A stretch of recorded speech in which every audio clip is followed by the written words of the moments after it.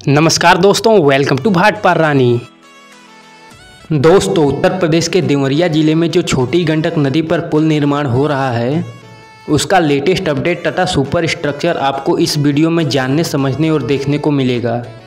तो दोस्तों, बने रहिए वीडियो के अंत तक। अगर आप हमारे चैनल पर नए हैं तो प्लीज़ चैनल को सब्सक्राइब कर लें तथा बेल आइकन वाली घंटी को भी प्रेस कर दें। आपको बता दें कि पहले भी हमने इस पुल निर्माण पर ग्राउंड ज़ीरो से जाकर पहले भी दो वीडियो बनाया है। जिसमें इस पुल से जुड़ी हुई हर छोटी बड़ी जानकारी मुहैया कराई गई है।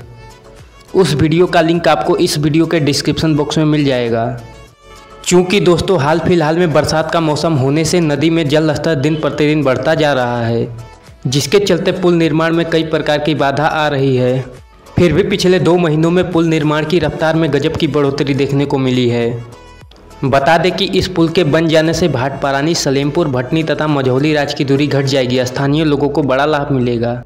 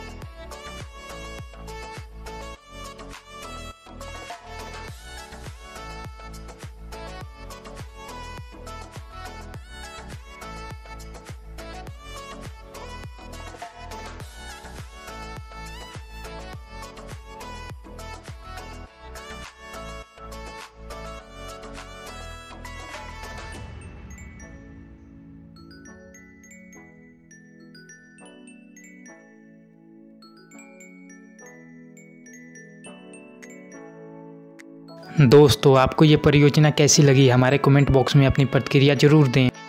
चलिए दोस्तों, अभी के लिए बस इतना ही। अगली जानकारी, अगले वीडियो में किसी और परियोजना तथा जानकारियों को जानना हो तो आप हमें कमेंट कर सकते हैं। आपका हर कमेंट हमें महत्वपूर्ण है। चलिए दोस्तों, तब तक के लिए चैनल को सब्सक्राइब करें वीडियो को लाइक करिए। जय हिंद, वंदे मातम भारत माता की जय। हर हर महादेव।